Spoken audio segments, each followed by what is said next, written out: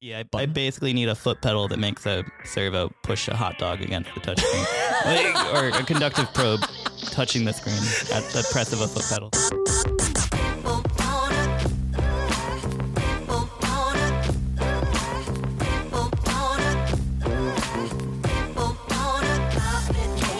Hello and welcome to the Open Hardware Manufacturing Podcast, a podcast about making open source hardware. I'm Lucian Chapar, And I'm Stephen Hawes. And today we're going to be talking about manufacturing automation equipment. So, yeah, in this one, we talk about what is worth spending money or time on for automating a task, specifically in manufacturing. Sometimes things are tedious, they're time consuming, accident prone, and there can be a lot of merit to automating something. If you can have buy a robot, build a robot, or process of some kind to automate it, it can be great. There's, of course, limits to it. And like sometimes we want to build a thing because it sounds fun, but it actually doesn't really make sense to do it. And like, how do you make that decision of we actually truly do need this? We get a little bit meta because the Lumen is an automation tool we use, Yep. which is kind of funny. Also, like there are some approaches to making some of these jigs that kind of in line with like, oh, it'd be fun to solve a really cool hard engineering problem where no, two pieces of laser cut acrylic will solve this problem. You don't need to big brain this. You don't need to get nerd sniped. What's the best way to be pragmatic about solving the problem? And how sometimes the absolute best piece of manufacturing equipment is a hot dog hot glued to a servo. and how that might be something that we make because we need it here. Yeah, you never know what could happen. you never know what might be useful. Hopefully, you guys can impart some knowledge here. Yep. Let's Yeah. get into it. Let's do it.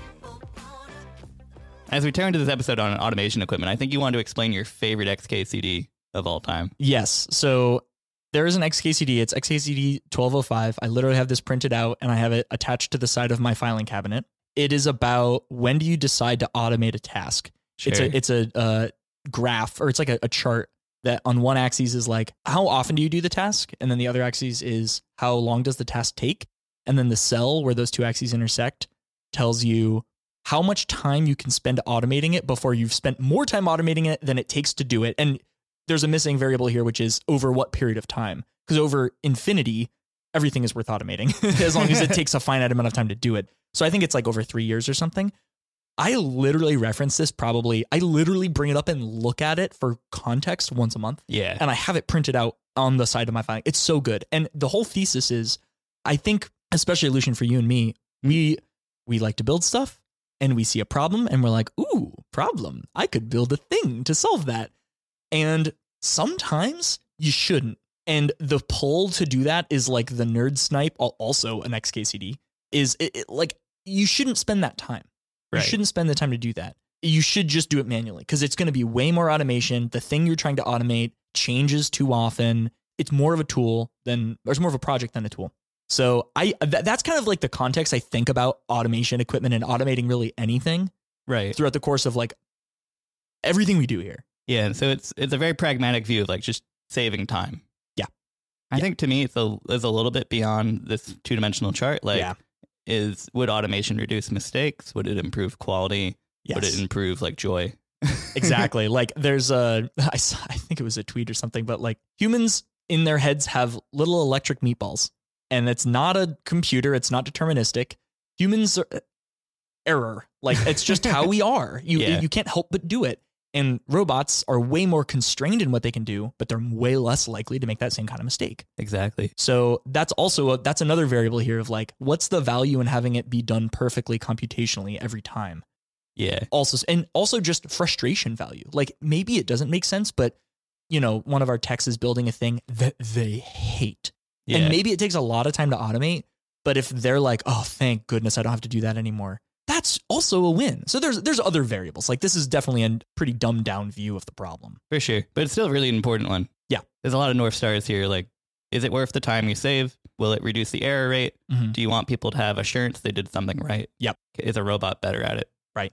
Yeah. So uh, in this in this episode, our, our game plan is to talk about things here at Opulo that we did that are easy wins. So like automation things that were like, oh my god, no brainer, so good that we did that. Things that are easy punts that we tried and we were like, oh my god, that was such a mistake, or we decided not to do and we're very glad we didn't for automation. And then ones that were kind of on the fence. And we're gonna go through those. But before we do, there's an important distinction to make of like an automation tool can be one of two things. It can be like a robot that you buy from the internet that does a thing for you, or it can be something that you make yourself, Right. which is also the tool project dichotomy. It's like, do you buy the example we'll talk about later is uh, Bobby, which is the uh, nickname we gave our cable cutting machine. You like put in a belt or a cable or tubing and you tell it cut 50 of this length and it just automatically cuts them for you.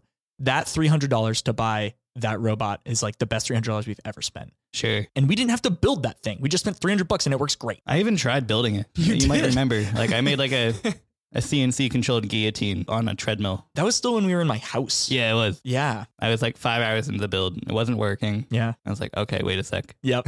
Is does this exist? Yeah. Yeah. So sometimes like just buying an off the shelf thing is the solve. Mm-hmm. And then other times there's there are things that you literally can't buy. Like you cannot buy a machine to test the Lumen PNP feeder. No. you have to build that. That doesn't exist. There's only one option. You have to make that yourself. So as we go through this, like some of these solutions are bought, some of them are built. It's always better to buy them if you can. Not always, but in many situations, it's better to buy them if you can. If you need the customization, you have to build it. Yeah. Sometimes you might even find that uh, something store bought does 80% of what you had wanted. And like you're happy to leave that on the table Mm-hmm. and just say that's good enough. Or you mod it. Yeah. You know, like you can you can edit certain things to do things a certain way. So yeah, th- there's options there. But like in terms of these tools, they could be built or bought. But and that's just a money or time thing. You know, do you want to just put cash into it, or do you want to try and design a robot to do it yourself? Well, you know, Yeah. wh- wh- what's the unique value you're creating? Is it most of the time it's better to just buy a thing and move on with the stuff that's uniquely difficult. Let's get into the easy wins. Let's do it. We had some characteristics of what makes something an easy win. Mm-hmm. So like humans are accident prone. We can make mistakes. We can get hurt. Machines are robust. They're made out of metal. They're serious things that do things usually repetitively. Yep. They're faster. Another thing about an easy win might be that you don't have a choice. Like it's an inevitable thing you need to automate. Yeah. Maybe you need that Lumen programmer or The slot programmer, I mean? Yeah. Yeah. Yeah. Like there's some things that you literally can't do manually and you need some kind of jig or fixture to do. Like we had to make a machine that programmed slots because like a human can't manually flip the bits in a EEPROM. like you need a thing to do that. So like easy wins are things where it's like the fact that a human is inconsistent or like there's a lot of little fiddly things that like a robot could be very consistent with. That's a great thing for building or buying an automation thing. Or obviously, if you don't have a choice, those, those, those are good, easy wins. yeah. The first real example we had was the uh, the Mobo Pogo Pin jig. Yeah. Imperative thing. That was so important because when we did our first batch of 100 machines or kits, we didn't have that jig. I was like 80% done with the code and the jig was mostly built. I literally, for every single one of those boards, I had a multimeter in continuity mode and I checked the continuity of the pin with the pinout for every single pin on that TQFP 100 to make sure it was connected to the peripherals for every one of those 100 boards. So, like, it's like, I don't know, 10,000 continuity connections or something, if my orders of magnitude are right. That's, that was a lot. So that one was like, okay, we absolutely have to make a jig for this. This is unsustainable. Yeah, and I remember you feeling shackled to like testing motherboards because it was a little bit too much to offload to like one of our like greenhorn techs. Right. I didn't want it to go to anybody else because it's a, such a you have to understand how it was designed a little bit to know like oh this pin needs to connect to this place and also this place but not here very specifically not here and Right. I, I didn't want to give it to anybody else so So it's like to say to reduce the barriers to entry for like testing the quality of the motherboard, we had to make this Pogo pin jig. We had a way to test it, but we needed something easier so that anyone could do it. exactly. And uh, I- I kind of think of that as like offloading my logic of what I'm checking for manually into a machine. Like the lookup table in the Mobo Pogo jig that checks to see how are all these things connected properly. That was put there by me. That was my logic that now is instilled in a little worker bee in the jig that's doing all that for me. So anyone can just borrow that little section of my brain to check you know that's what it feels like you know Right. and so if you notice that there's something that like requires an engineering thinking behind it that's a great opportunity to automate Oh yeah. Anytime you find yourself doing something tedious and consistently for the foreseeable future, Yeah. think heavily about automating it. Right. And foreseeable future is a good point we'll talk about later too. That also depends on a lot of stuff. Another example, kind of ironically, is the Lumen. Oh yeah, you want to you want to tell me about that? so we, I mean, this is the epitome of a project because this is the whole point of the company. But like the pick and place that we make and sell, we use Yeah. so that we don't have to manually assemble all of our circuit boards. It is a tool that we use to build everything that we make, all the feeder boards. Project for us, a tool for uh, hopefully everyone listening. Exactly, exactly, and that's exactly it. We chose that to be the thing we take from project to tool Yeah. as, as an organization. But that's another good example. Like that's a ton of work of fiddly component work that if we can automate to a computer that goes, I know what a properly aligned TQFP 100 looks like. This is where I place it. Awesome. That's a great thing to automate. So the, the Lumen is a really good example of this. And just pick and place in general, it's so handy compared to hand placing. Yeah, yeah, exactly. Like a pick and place is a is a good example of that is a fiddly problem that it's really inefficient for a human to do, but a robot can do so fast and so precise. Yeah, it's, it's removing over 500 decisions for you. Like this part, the orientation of it, is this the right place? Yep. Times however many parts. It's just, you need it. it's solved. Yeah, Another really fun one we uh, lovingly call Bobby. yeah. We call him Bobby because we're like, he was our first employee Yeah. in a way because it's the robot. When when Lucian and I were still we were just starting out and we were we were talking about like hiring a theoretical first employee and we were still in the garage and we were like are we really going to ask Bobby to show up for work in my garage? And like th- it was like the name we gave to the theoretical first person we would hire just as a colloquialism and then when we bought the machine we're like okay we're going to call this little guy Bobby because he was kind of our first employee making all these little belts yeah Bobby's great he's a great little machine such a good investment Yeah, so for everyone listening, it's a three hundred dollar belt cutter from I think AliExpress. They just, Mhm. we only had to get one. Yeah. there's like five different lanes you can load material into, and like a rubber wheel that pulls material in past a blade. Yep. And you can tell it how many time, how much distance you want it to go past the blade, and how often you want the blade to cycle per increment of cut. Yeah. I have it cut vinyl tubing in eight hundred millimeter increments. Yeah. and it hits the blade shung shung Yep. twice just to make sure it cut it. It's Yeah, great. yeah and uh, a GT2 timing belt Yeah, and like all kinds of stuff. a whole bunch of stuff. Yeah, we, We- run a bunch through it. We used to have it do the uh, FTP component tape, Oh yeah. um, but it was a little bit too inconsistent. We like to provide that to the customers with the, the, the pitch spacing cut in half. I'm, I don't know how oh yeah. yeah, yeah, yeah, like snipped right along the component hole and not Yeah. over a component. Exactly. Yeah, and like you can't be that precise with like where it's going to line up with Bobby. Yeah. And like Bobby over like a 1.8 meter length of GT2 belt, it might vary 10 millimeters, but it's cheaper to have him cut a little bit extra than for us to just be cutting it by hand like we used to. Totally. Yep. and we also inevitably put it into a jig that checks the length for like the not only like actually routing it through the gantries to see how long the GT2 belt is, but also the tubing goes into the jig for making the cable chain. So we check it after anyway. Yeah. It just it saves so much time to have this little guy that just does all that stuff for us. Yeah. We used to do it manually. It's just, it's silly. Yeah, it's silly. It, it's something that you can automate so easily. So that was a huge win. We also have the ring light tester jig. So we, we make ring lights that go into the, the Lumen as well. And it's literally just like a level shifter, a bunch of MLCCs and or some capacitors, and a bunch of NeoPixels, WS2812 LEDs. All we need to do to make sure it works is send a little like Arduino Adafruit default NeoPixel strip test through it. So in 30 minutes, I soldered up a perf board with an Arduino, 3D printed a little thing with some pogo pins, and we have this little jig. It's like it's the size of a credit card. And we put each ring light into it with the pogo pins going into the, the test points. We hit the reset button and it sends the data out to test the NeoPixels. It, it took me 30 minutes to make this, and we've probably run like probably a few, many thousands of ring lights through that single jig. Yeah. And you made it in like an hour and a half. And you never updated it. Yeah, no, I've never updated it. I've never touched it. It's just it's just run. So that's another great example of like that's one where a human can't really test. You need to have something. It doesn't have to be complicated. It doesn't have to be crazy. We tested thousands of these things with something I made in I think it was like printing time aside, I think it was like under an hour. Yeah. Yeah. And for a lot of these easy wins, you can have stopgap measures like assembly fixtures. That's something we'll talk about more in another episode. But Yeah. you can get halfway to this really quick. Yeah. yep, 100%. So yeah, that ring light tester is a really good example of like quick, easy win, huge, huge value for being able to just test them really quick. The next one was Gundam. Yeah, so I'm gonna let you explain. Yeah, Gundam is a, a piece of software that I wrote that is our like uh, testing software suite.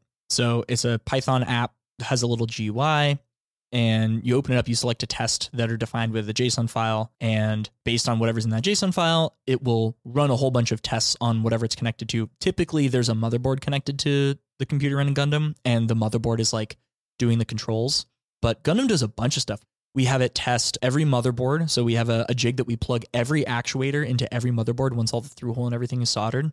And Gundam runs through a test where it's like, move the x axis, move the y axis, home the x axis, home the y axis. It, like it just goes through literally everything. Check the vacuum sensor. We do this whole test where we turn on all the pneumatics and we have someone cover their finger over a nozzle with an N045 Yeah, tip. It's seriously cool. It's really cool. And it, it goes through and like prompts you to do all this testing and make sure that the vacuum sensors are reading the right values and that there's enough of a difference between on and off of a part that it's a valid pick and you can detect it and all that kind of stuff.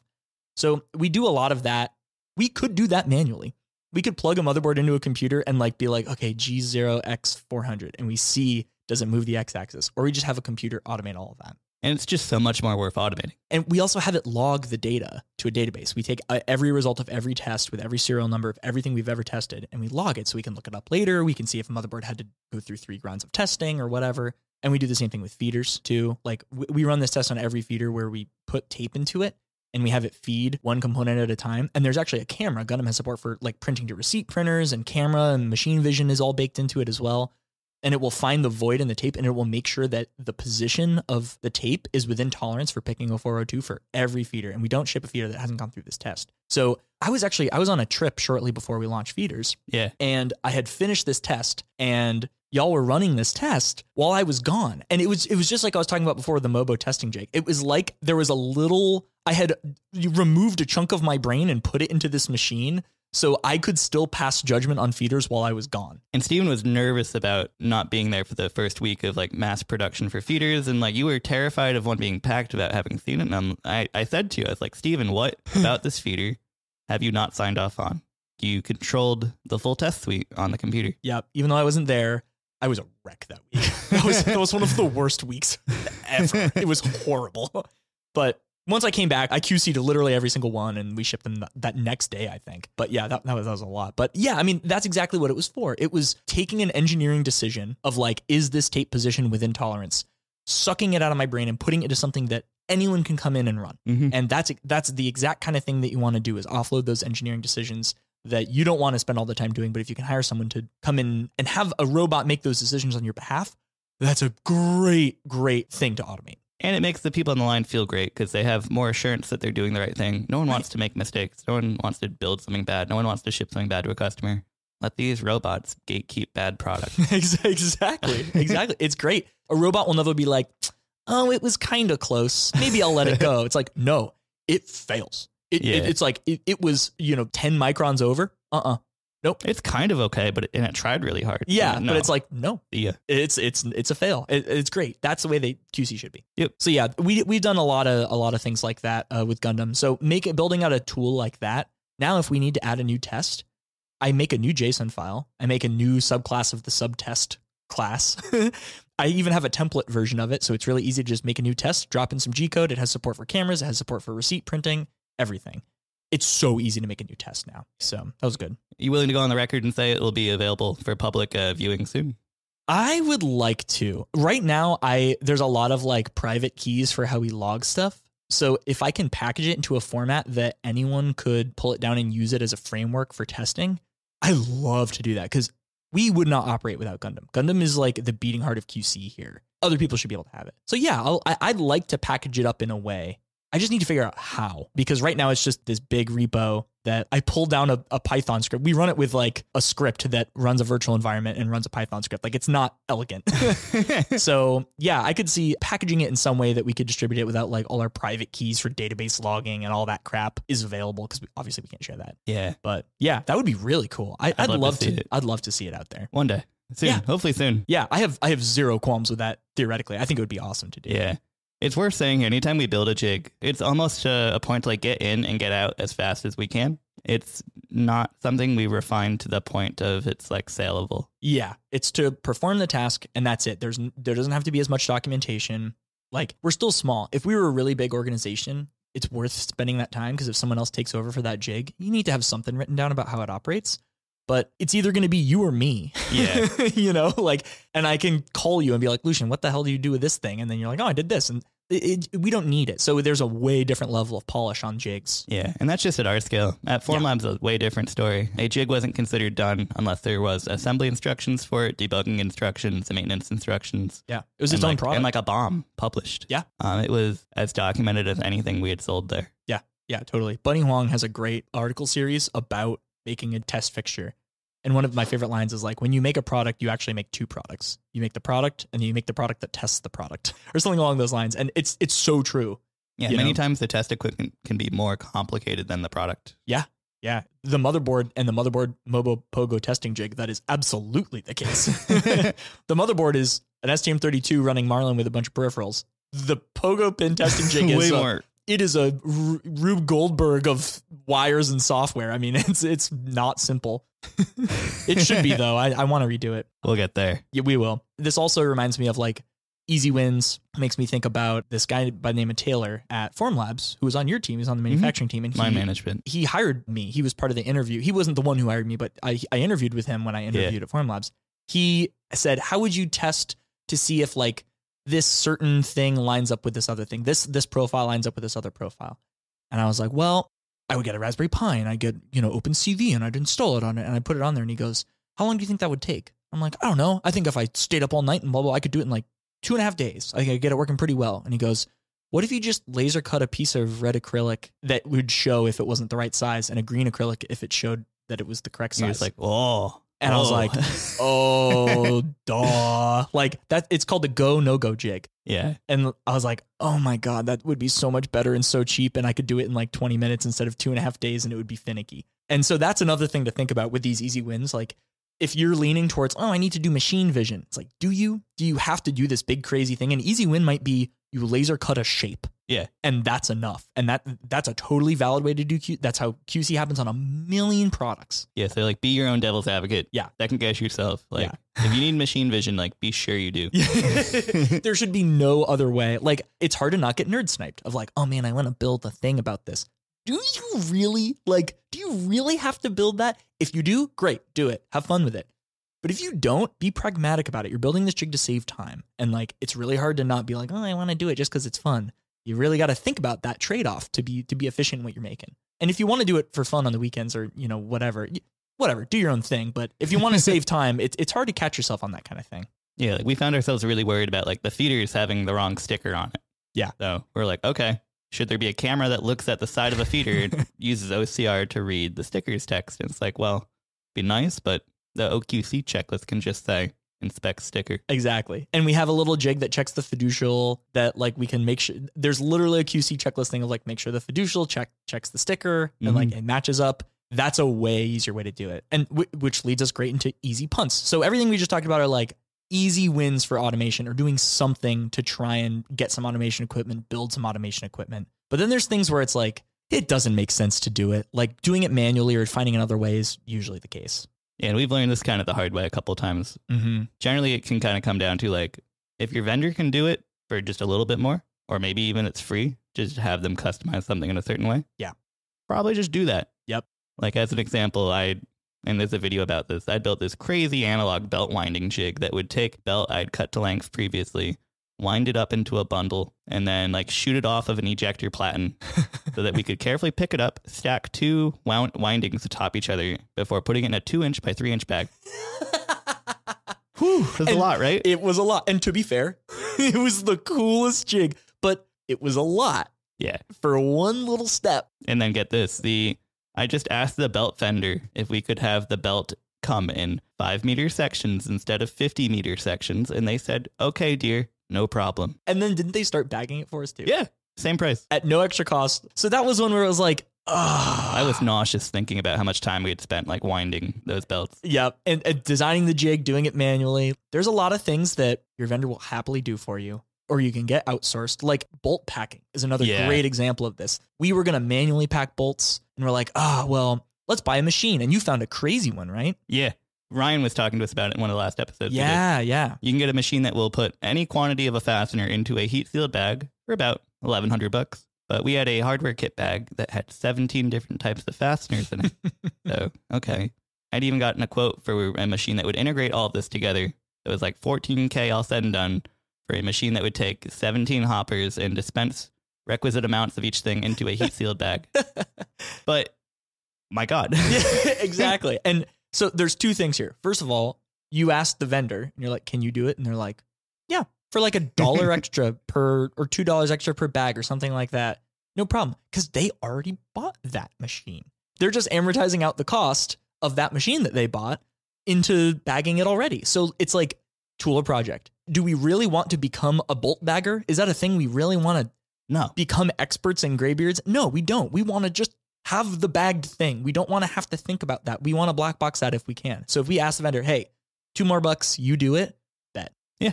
So that's the first thing. The other thing is, after we were doing that, how much longer did we have that bolt bag? Like another Oh. three months, maybe? Till the end of BYOP, so like a couple hundred more machines. right. So like it would have been worth it to buy the belt bagging robot if we had 14,000 bolt kit bags to make. Right. But we we did not. We not just- even close. Not even close. We yeah. had like 300. yeah, there weren't many BYOPs Yeah. all said and done. Yeah. So maybe it would have been worth if we imagined a product roadmap with bagged hardware for the foreseeable future. And in many ways, we still do have bagged hardware, but not to the extent that required a $14,000 machine that could make 17 unique parts in a bag. Exactly. That's not what we are going to have to do moving forward indefinitely.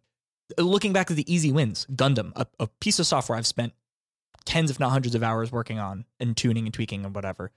We will use that until the end of time. Like Opulo will always need some kind of testing solution. Always. Testing motherboards, we will always make a motherboard. We'll always make a ring light. Like those things are non negotiable. They're easy to invest time in because we know they're not going to be deprecated. But bagging bolt bags, well, if we're starting to assemble stuff, who knows if we change the amount and like maybe we don't need a big crazy machine your hackles should go up when you're thinking about oh this might be deprecated punt maybe it's worth doing manually or having a vendor do it instead Yeah, the counter to this, though, it's important to say. When we were doing BYOP, we had to glue all the foam together. We had to like mask certain regions of foam from not getting spray glue on it. right But we also had to have uh, confidence that certain regions did have glue, so the sheets could be laminated and parts couldn't slip between two laminated sheets. Yeah. So I had this crazy jig I had built to spray foam with glue and mask it in certain regions. Yeah. And uh, we knew that wouldn't have BYOP forever, but we still had to do it. true So sometimes it's worth making a jig that has an expiration date. right. Yep. And, and then how you choose to make that jig is different. Like when when you would rebuy because those uh, stencils would get really crappy and covered in spray glue.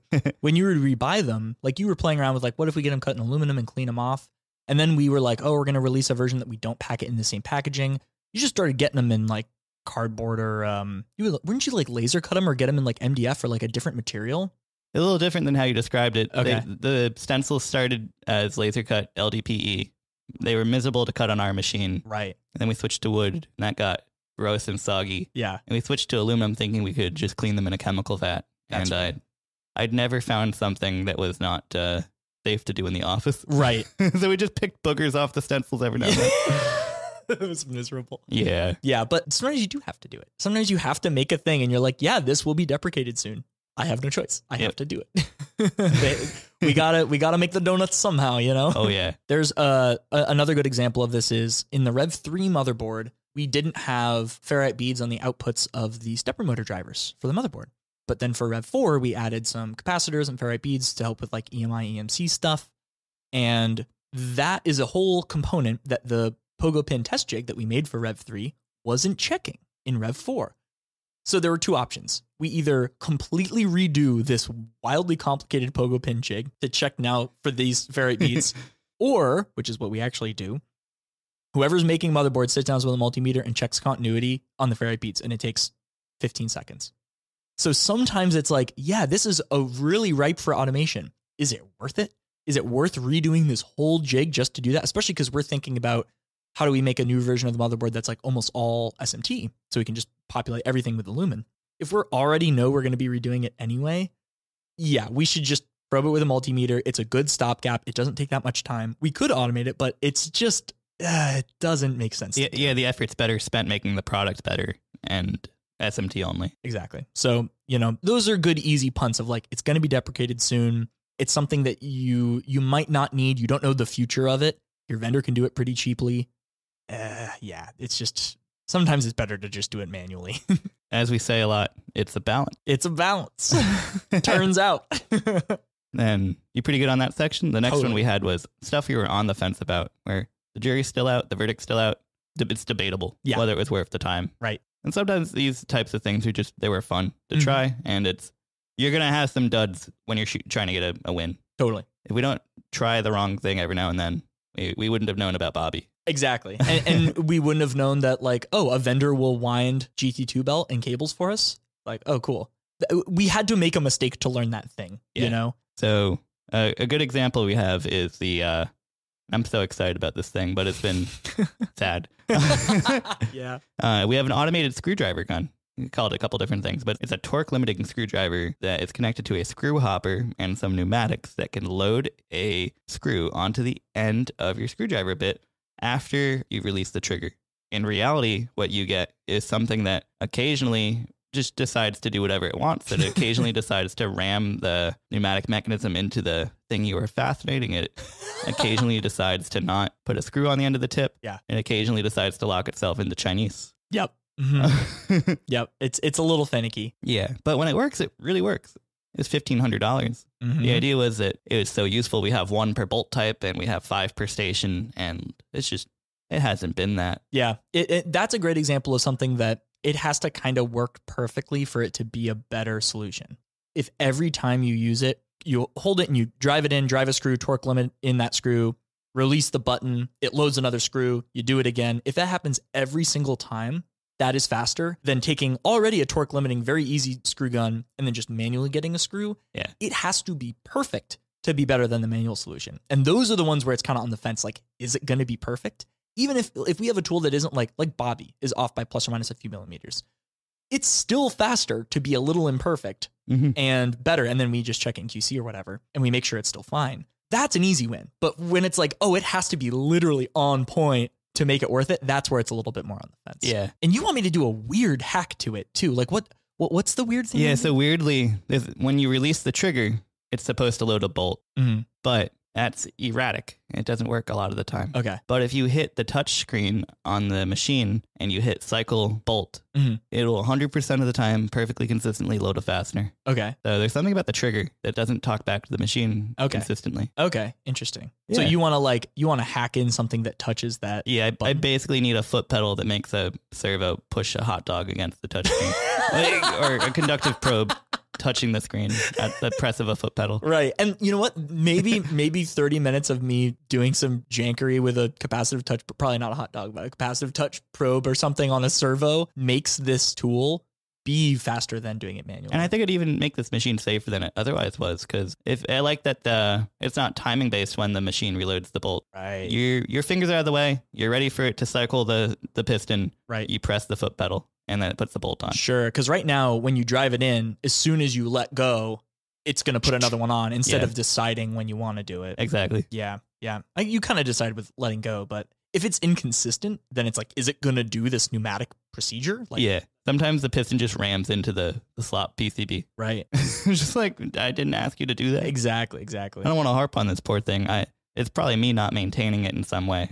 Maybe. But you know, what, what that's one where like we already spent the money on it. It's worth some effort to get it working to make things faster. Yeah. And easier, like uh, more consistent. It, it checks all the boxes. We just got to get it there. Yeah. So that's a good example of it. I mentioned earlier we're looking to uprev the motherboard. Really nothing functionally different at all. It's really more about like converting all the connectors to surface mount and like making it a little bigger so it's easier to access some stuff. More just like making it easier for us to manufacture. And I want to replace the pogo pin jig for the existing motherboard.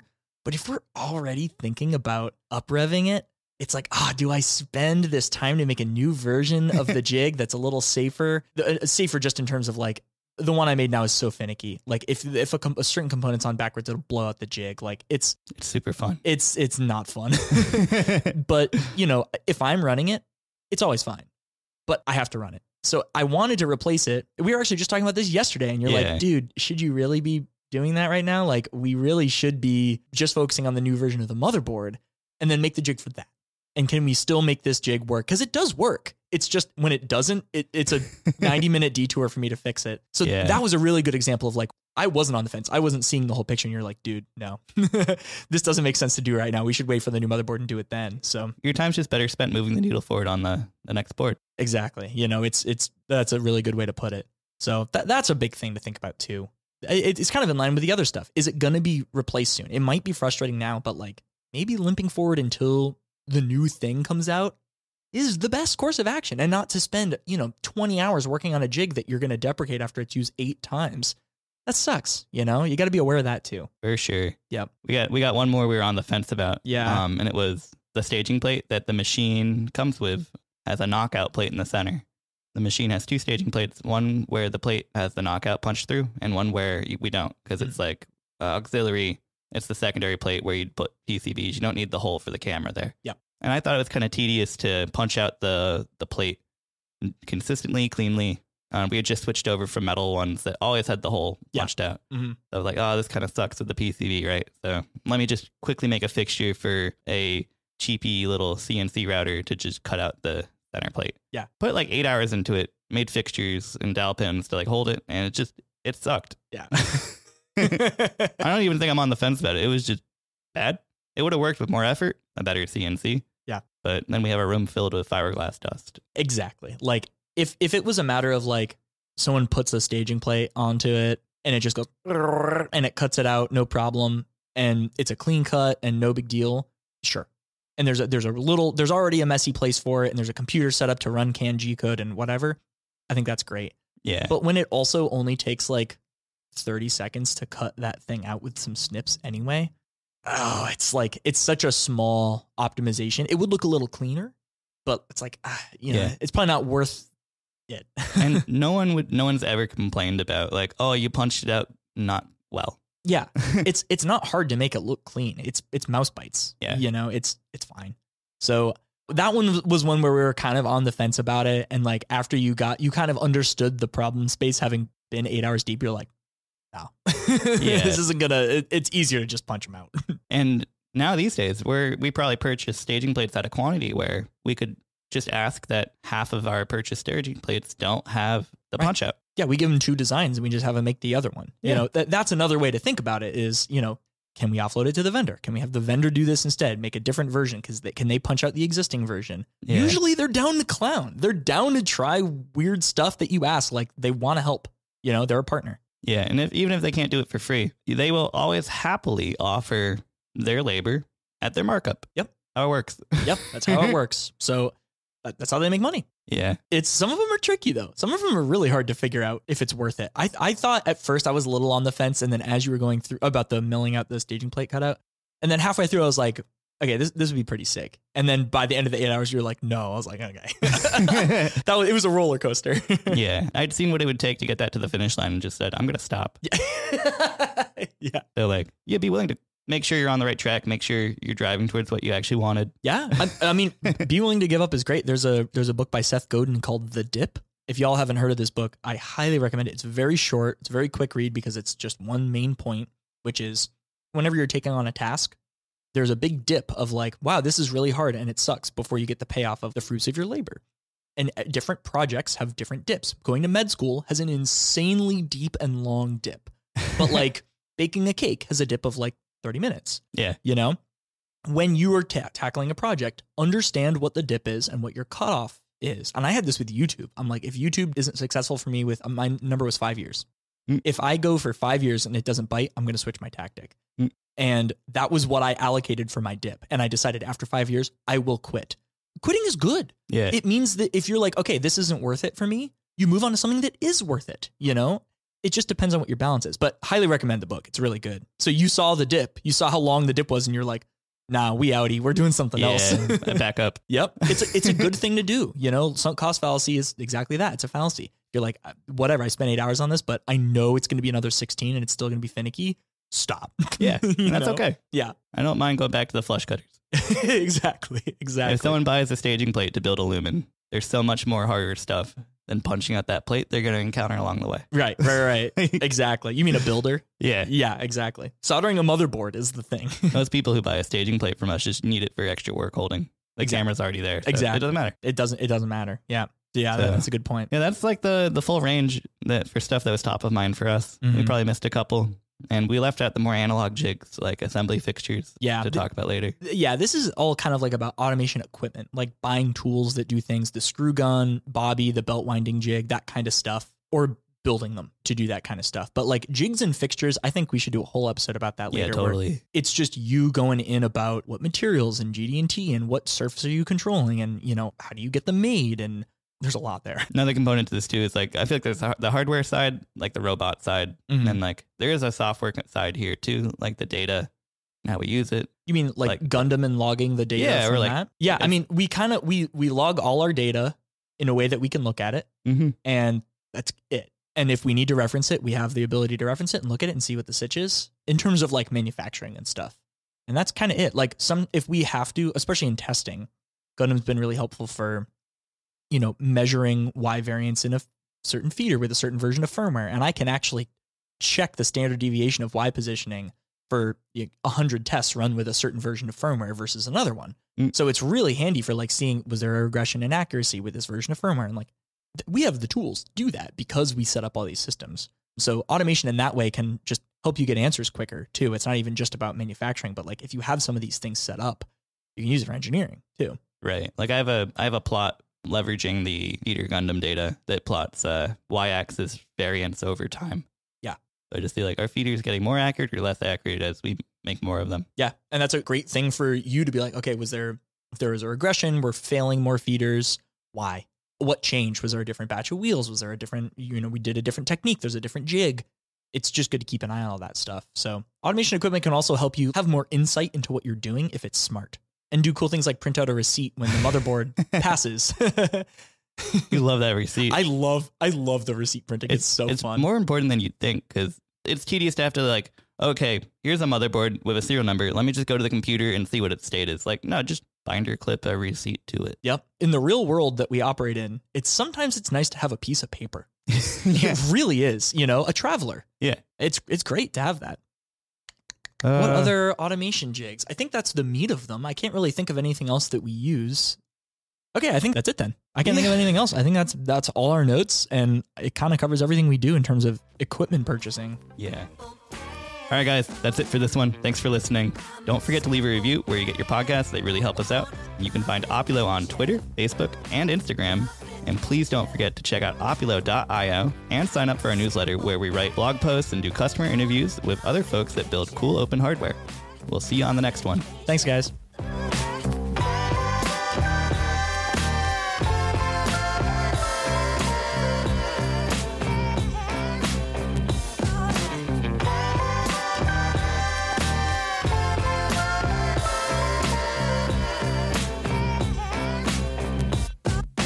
Humans are little meatballs, and sometimes we're bad at stuff. So I'm not having fun reading this. list. okay. I'm not having fun. Oh fun. No. I'm cutting. Okay. I'm backing up off this You exit use ramp. the dip.